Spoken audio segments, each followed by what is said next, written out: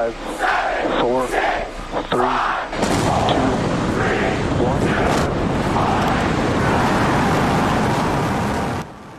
A history-making launch earlier today in South Texas. It's just a step in a very big process, the third test flight of SpaceX's Starship.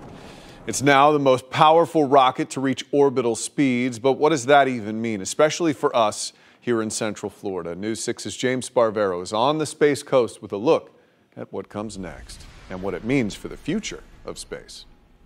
This Falcon 9 rocket launching tonight is more than 20 stories.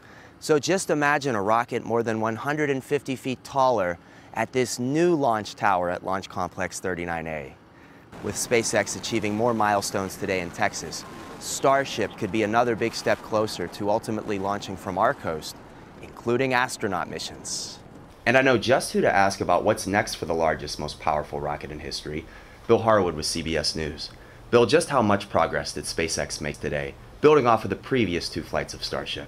Yeah, when you compare it to the first two test flights, both of which ended with uh, self destruct explosions, they clearly have made major strides. Now, they still lost both stages. They both broke up during reentry, but they got much further than they did the last time.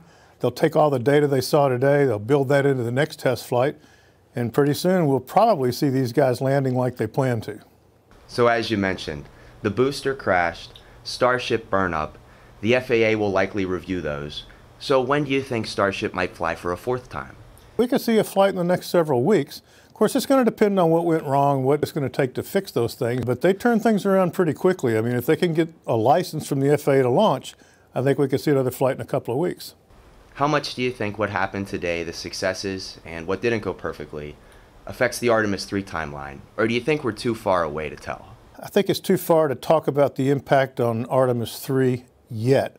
That flight is penciled in for the end of 2026. SpaceX does a lot of testing very rapidly, so it's possible they could get this vehicle certified and ready to go in time for that, although I think it's still a stretch. Multiple launches are going to have to go well before NASA's going to risk putting astronauts on board. So they've got a big challenge ahead of them. And fun fact during its broadcast, SpaceX said today is its birthday. Elon Musk founded the company on March 14, 2002, and 22 years later, he posted this picture saying, Starship will take humanity to Mars. At NASA's Kennedy Space Center, I'm James Sparvero, getting results News 6. As you heard James just mention, SpaceX will try again tonight to launch its next batch of Starlink internet satellites from Kennedy Space Center. Last night's planned liftoff was scrubbed with just minutes left in the countdown. Tonight's launch window opens at 7.04 p.m. When the launch happens, you can see it right here on WKMG, clickorlando.com, and our News 6 Plus streaming channel.